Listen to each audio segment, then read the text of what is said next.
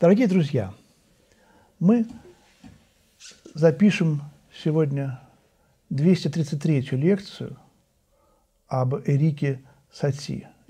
Я, оговорился, но когда я говорю о Сати, то хочется оговариваться, и все оговорки становятся как бы частью лекции.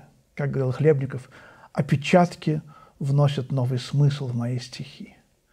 Вот, и Асати у нас третья лекция, а в цикле от Баха до наших дней 233.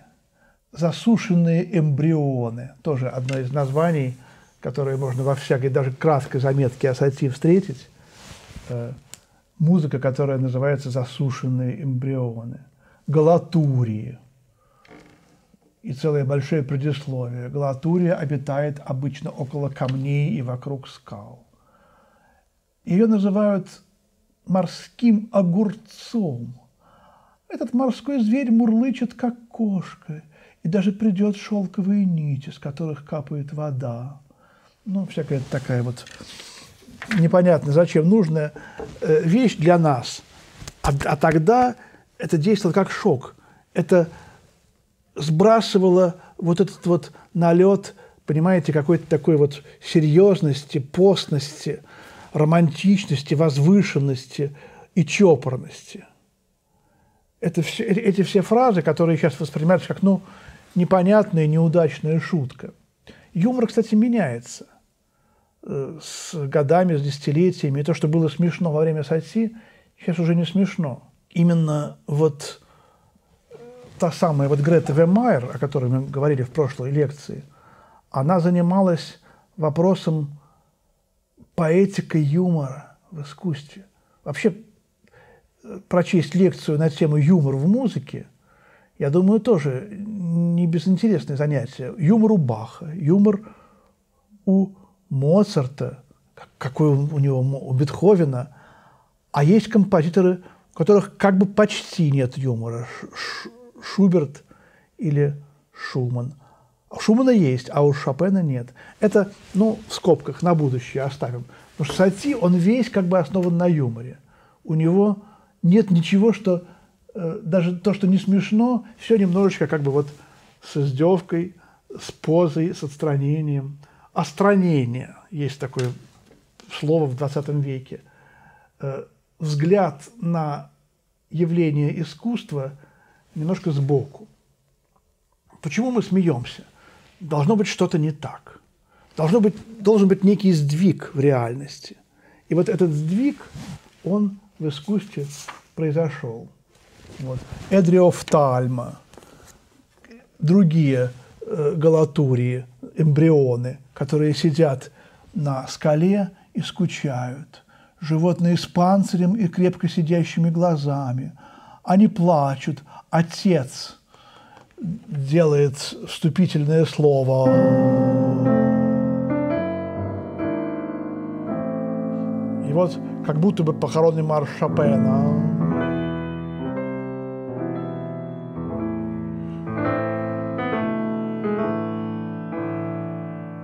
Да, и потом начинается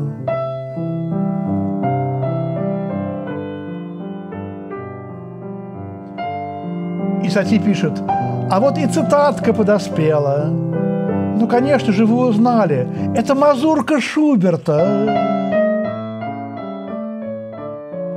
Такую, ну, шопеновскую, серьезнейшую, возвышеннейшую, святую музыку божественную взять и перенести из ре бемоль мажора, вот того самого тональности, которая потом вот в колыбельной как раз возникнет.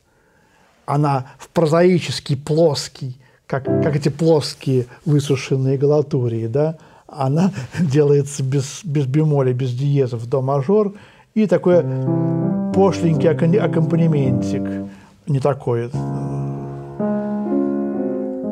И тема...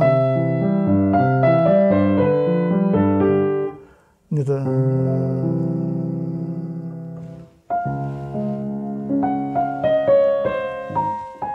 Это божественная септима, которая наверх идет. То есть он ухудшил, опозорил, пародировал. Да, зачем? Вот искусство требовало этого. И, конечно, когда мы сейчас вот хмыкаем, пожимаем плечами и говорим, ну ладно, пусть его там, мы не понимаем, что он снял с искусства грандиозный вот этот вот налет лишнего, грим, румяна.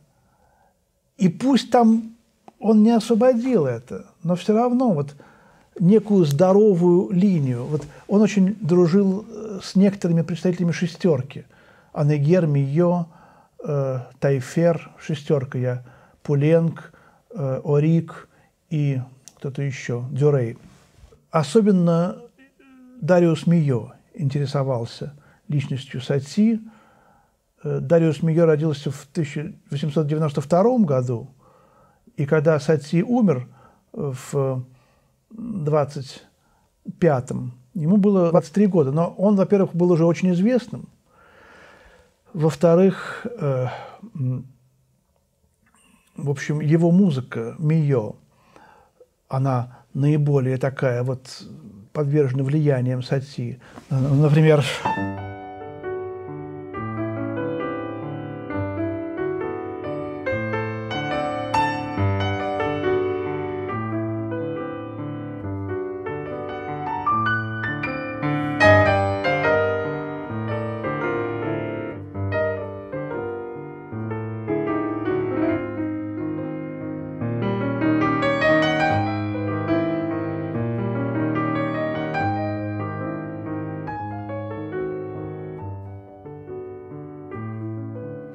бразильские танцы. Абсолютно типичные, чистейшие сати какие-то. У нее около тысячи сочинений. Невероятно плодовитый композитор. Мог написать 50 страниц партитуры в день. Мио рассказывал, что он пришел к Сати, когда он умер. Сати попал в больницу, ходил, он ходил к нему, э, навещал его в больницу, у него был цирроз печени – он работал как топер в ресторанчике, чтобы хоть как-то прокормиться. Такая музыка, естественно, никому не нужна была в то время. Образования у него ну, не было, но он, он предвидел развитие музыки по ближайшие 50 лет. Ну, неужели это профессия, да? И он, видимо, не отказывался от этих стаканчиков. Как сказал кто-то, ну, хоть бы кто-нибудь предложил бы бутербродик – все почему-то предлагают стаканчики. И вот цирроз печени его преждевременно свел в могилу. И когда после его смерти они зашли к нему в квартиру или даже в комнату, они увидели, что в последние годы ему было трудно жить. Он не, не распечатывал письма, гора писем, не распечатанных, важных. Вот. А когда они открыли шкаф с одеждой, там висело 10 смокингов, ни разу не одеванных. Может быть, там почти не одеванных. И больше ничего. В общем, какая-то немножко загадочность была в этом одиноком, странном человеке, которого звали Ирик Сати. Сейчас тоже я играю концерты музыки Сати, и у него есть очень узкая такая группа фанатов – а в основном говорят, ну зачем вы нам это высоти? Нам нужна настоящая музыка. Да. А была ли бы настоящая музыка без сати? Вот в чем вопрос.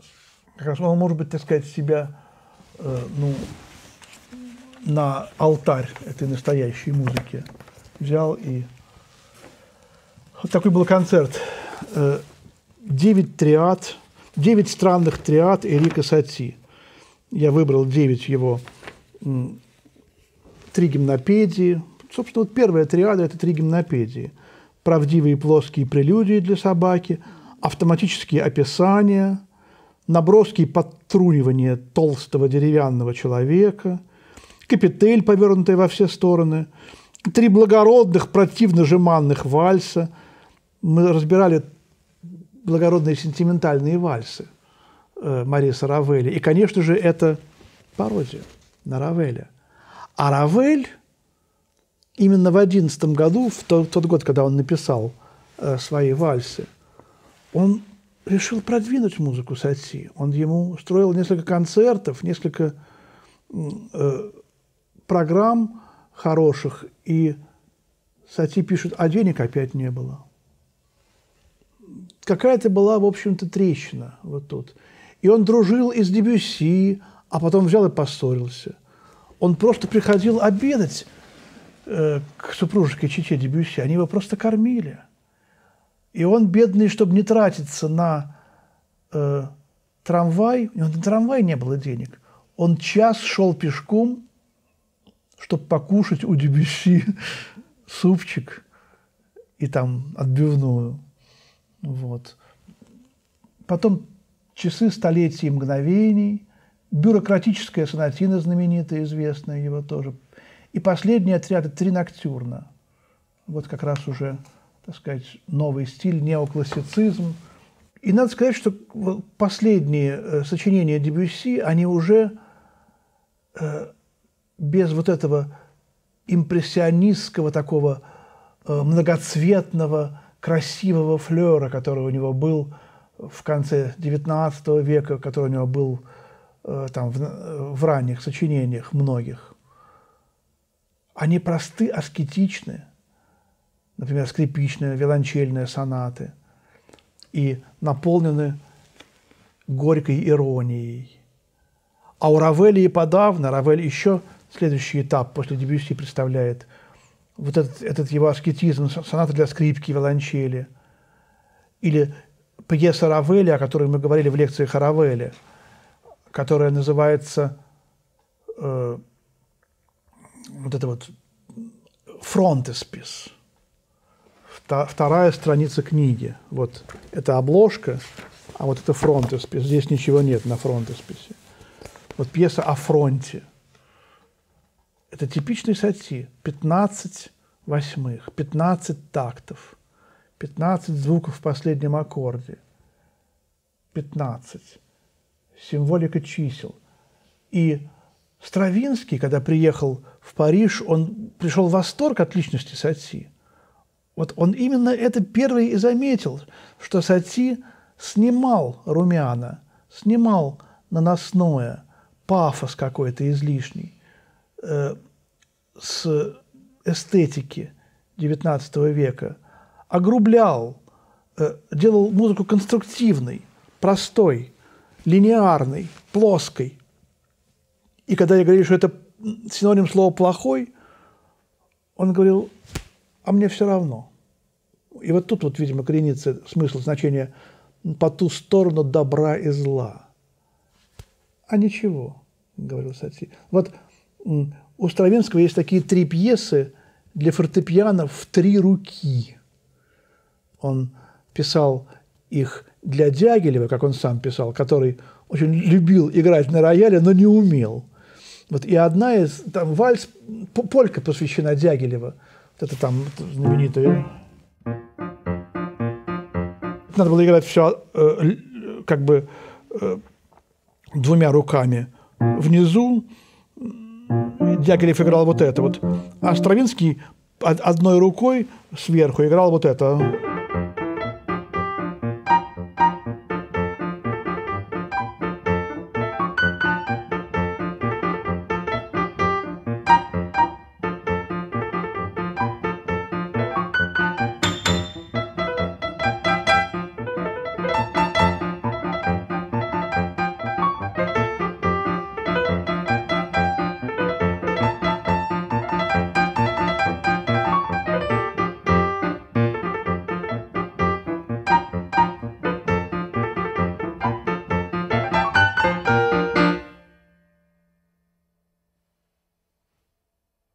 Гениально, хорошо. Понимаете, любой скажет плохо, но это вот гениально и хорошо. Мне было лет 13, наверное. У нас э, вышел двухтомник Стравинского. Такой, такие два томика, беленький и черненький. И вот, э, когда Стравинский приехал в СССР, то, в общем-то, его музыку разрешили. Дол долгое время ее запрещали – и вот эти два томика у нас появились, и мы с сестрой пришли в восторг от этих трех пьес. Вот оно, чистого э, влияния Сати. Там еще вальс такой.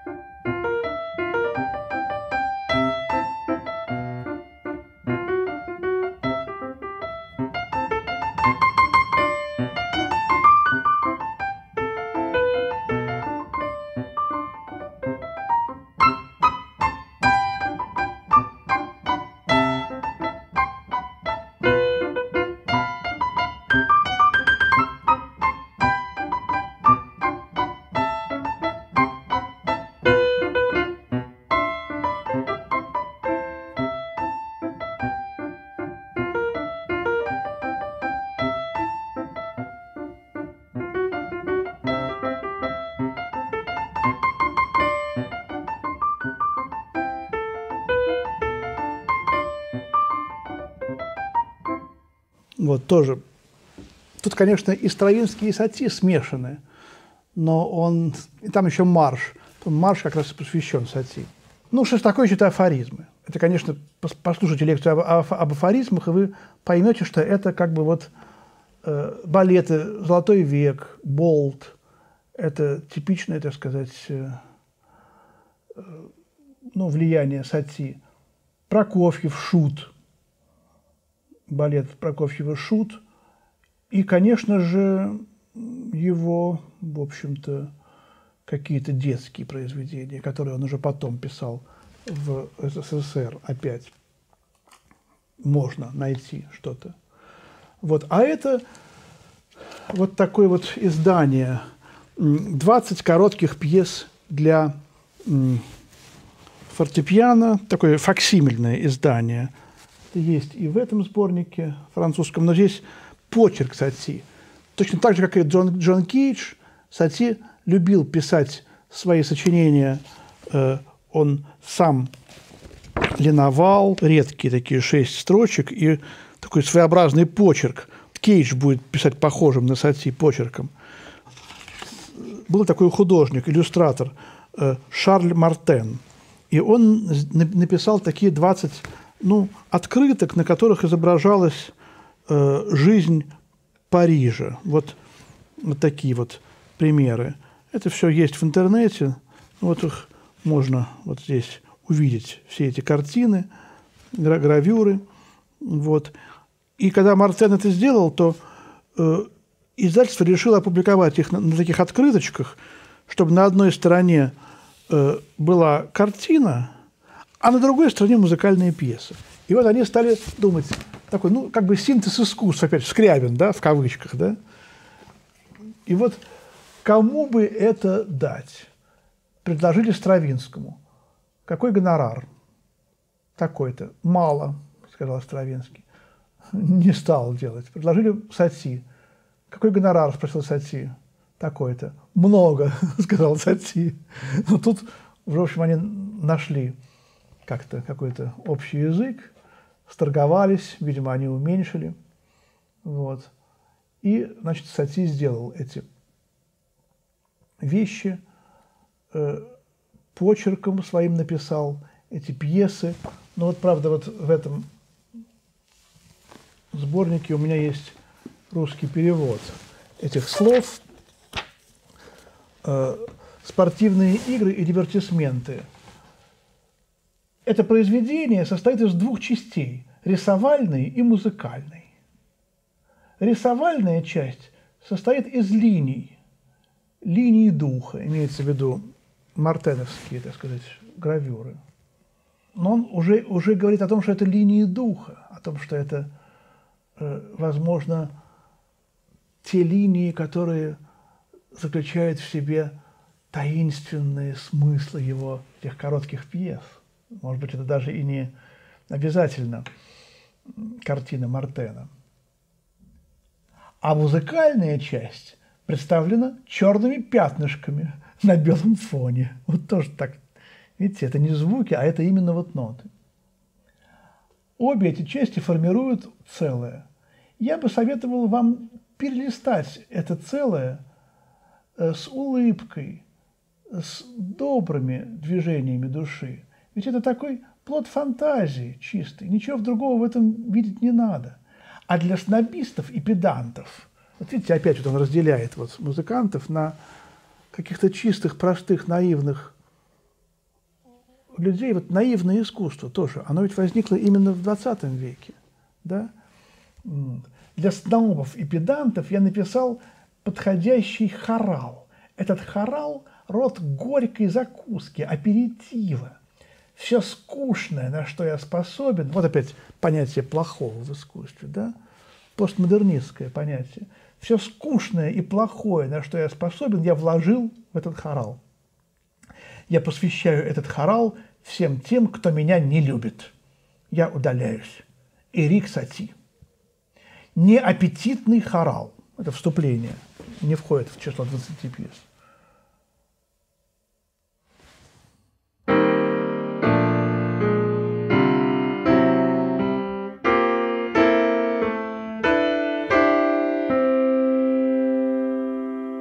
Играть недружелюбно и ворчливо.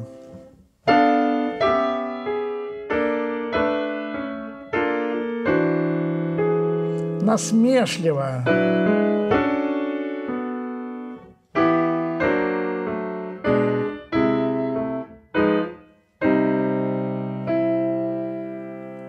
Сочинено утром 15 мая 1914 года. Натощак не позавтракал. Вот. И вот такого типа. Потом первая пьеса «На качелях». Да, вот тут вот в этом факсимильном издании видно, как качается девушка, а наблюдают за ней какие-то значит, зрители, очень красивый, грациозный вид. И это качание, вот так изображено левой рукой. Посмотрите, это мое сердечко, которое качается туда-сюда. И у этого сердечка головка-то никогда не закружится. Туда-сюда это сердечко бегает на маленьких ножках.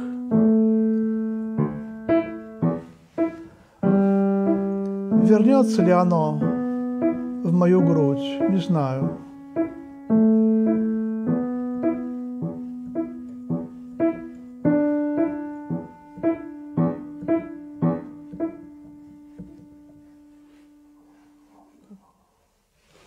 Вот эти слова, они, опять же, вроде не должны произноситься, но вот они написаны именно в, то, в тех местах, в которых я их сейчас читаю. Их сочинил Сати, эти слова. Поэтому тут три вида искусства – живопись, музыка и слово. И они означают, видимо, какие-то э, ну, заигрывания молодого человека, который тут стоит, э, и который, видимо, думает – он не говорит это девушке, а на, на девушку смотрит какая-то женщина лет 50 уже. Это, видимо, ее муж, который, которому более интересна девушка, чем его собственная жена. Вот. Какие-то тут, в общем, такие вот тайные события этого паркового катания на качелях э, присутствуют. Некоторые картинки, они Э, именно спортивные игры и дивертисменты. Они представляют собой ну, яхта, купание в море, кто-то боится прыгнуть в реку, гольф, водяные горки. Это аттракцион. Ну, примерно как вот в Макдональдсах, знаете, сейчас такие есть. Или, или, или уже сейчас уже нет, я не знаю такие, э, спускаешься в такую, в такую трубу, и туда потом выныриваешь, э, съезжаешь в, в, в этой трубе, оказываешься в воде. И вот эта линия, которая, значит, по которой очень боится спускаться эта женщина, она отражена сати здесь э, в пассаже таком, которым съезжает эта линия раз, есть такой пассаж раз. Видимо, он делал это не, э, не случайно, а специально – то есть некая графическая модель музыки повторяет графическую модель э, этой гравюры. Гравюра сделана э, раньше, а в моих евангельских картинах живопись написана позже. Некая связь, конечно, очень далекая, но тут тоже есть. Водяные горки.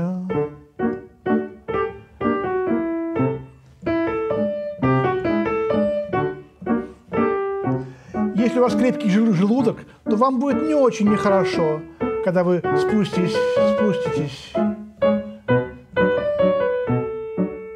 Нехорошо будет, но не так нехорошо. Это примерно такое тоже, как если вот подняться на эшафот. Ну, только и всего.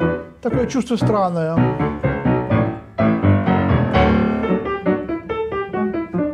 Ну давайте, не бойтесь. Внимание, сейчас. Только не нужно бледнеть.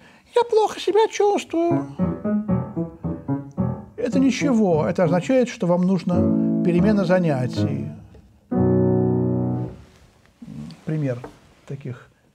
Бесконечное танго. Танго – это танец черта. Черт предпочитает этот танец всем другим. Он танцует его, когда ему нужно прохладиться.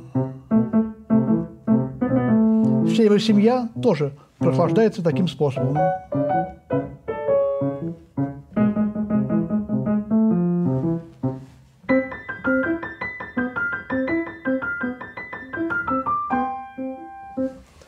Я играю это танго, потому что послушайте историю солдата Стравинского, которая написана по сказке Рамю о солдате и черте, и, и, и которая очень похожа. Рамю писал это под влиянием рассказов Стравинского о сказках Афанасьева.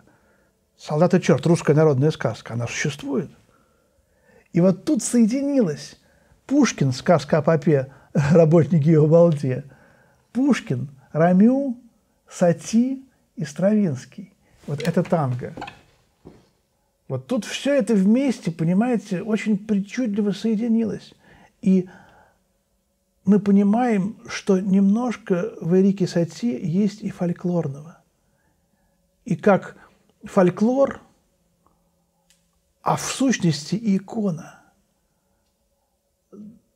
средневековая, она раскрепостила искусство XX э, века, Матис, пришел в восторг, Малевич от иконы. Вот. И то же самое икона вдохнула новую жизнь в живопись XX века. Фольклор вдохнул новую жизнь в поэзию XX века, а через поэзию в музыку. Свадебка Стравинского. Абсолютно то же самое – вот все эти мысли, они, конечно, сейчас в этой лекции недодуманы, недозвучены, но они уже озвучены. И поэтому мы понимаем таинственную и очень большую роль сати в искусстве XX века. Спасибо. До свидания. Всего доброго.